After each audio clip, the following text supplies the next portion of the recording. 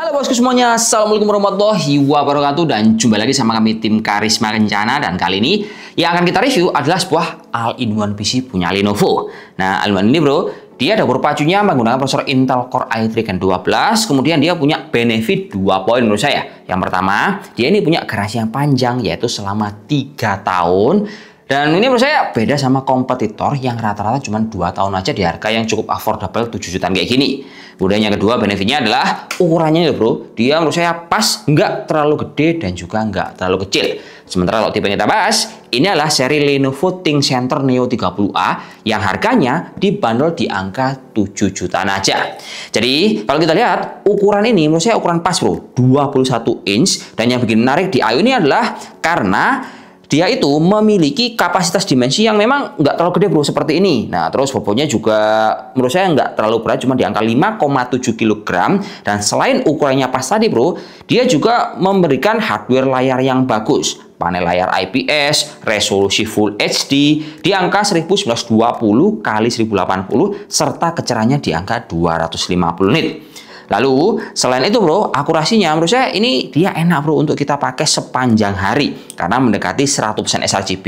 Sebab pas kita menggunakan tes pakai data color bro, sRGB-nya itu di angka 98%. NTSC di angka 70%, serta untuk all-in-one ini juga dibekali kamera yang tempatnya unik. Dia posisinya di atas seperti ini.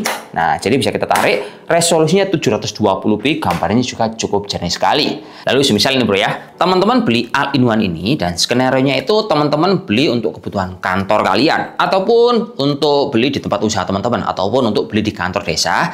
Nah, dalam skenario seperti itu bro, biasanya kita juga butuh untuk ngobrol menunjukkan hasil kerja sama klien. Nah, si Alien ini memang minusnya dia tidak punya face sehingga kalau kita tambahin bracket dia nggak bisa. Nah, dengan adanya minus itu bro, dia punya satu inovasi. Ini kan dia punya stand di bagian bawah. Nah, di bagian bawahnya sini bro, dia ada besi bulat yang bisa kita putar hingga 45 derajat.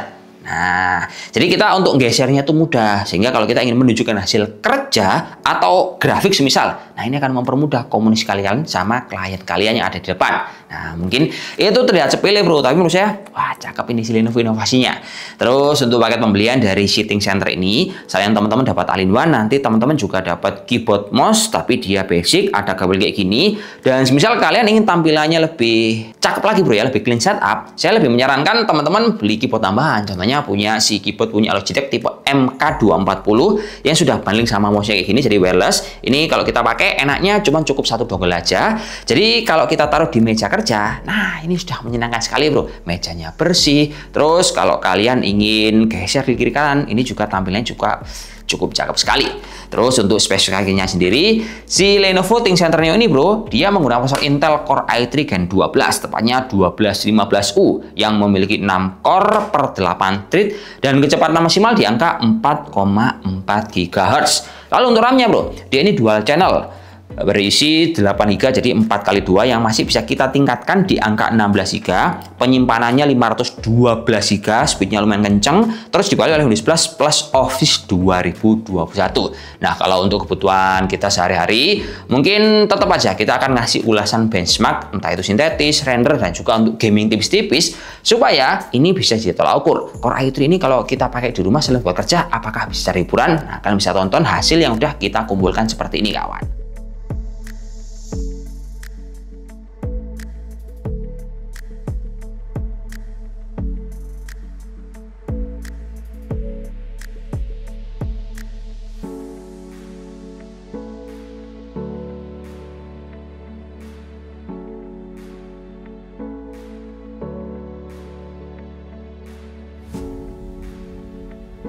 Jadi, semisal ini kita juga mau compare budget teman-teman di angka 7 sampai 8 juta rupiah, terus opsinya mending all-in-one atau rakit PC. Jawabannya kalau teman-teman tolak ukurnya sama spek, yang mending rakit PC, Bro. Teman-teman bisa dapat spek yang lebih tinggi, dapat Ryzen 5600G, RAM udah 16 GB. Syukur-syukur kalau ditambahin VGA juga bisa. Dan kalau dipaksakan itu bisa dapat monitor yang ukurannya 20 inch sudah port HDMI. Cuman kekurangannya kalau kita beli rakit PC bro, yang pertama dia itu dayanya akan lebih besar dibandingkan all-in-one. Kemudian yang kedua kekurangannya rakit PC itu adalah untuk proses warantinya dia lebih pendek bro. Umumnya kalau rakit PC itu garansinya satu tahun, mentok-mentoknya dia paling gasnya dua tahun. Lah kalau teman-teman beli Think Center Neo yang 30 ini bro, dia punya benefit garansi lebih panjang yaitu tiga tahun. Kemudian kalau ada kerusakan ini juga enak untuk servisnya kalian bisa on saja, jadi bisa telepon si teknisnya datang ke rumah kalian. Nah, ada kelebihan, ada kekurangannya juga. Tapi keenaknya si Alno ini kalau menurut saya adalah kalau mau upgrade, jangan sekali-sekali kalian bongkar sendiri kalau nggak pernah bongkar. Itu rasionya besar sekali bro. Teman-teman bisa bikin layar pecah atau mungkin uh, di bagian dalamnya ini cukitannya patah semua. Mendingan kalau mau upgrade dibawa ke orang yang paham ataupun ke service center supaya kalian tinggal pakai aja dan mungkin cuma nambah jasa pasang RAM ataupun nambah penyimpanan di dalam sini. Jadi mungkin sekian terima kasih informasi yang bisa kita berikan. Semoga All-in-One ini bisa memenuhi kebutuhan teman-teman untuk berwirausaha, cari rezeki di budget 7 jutaan rupiah.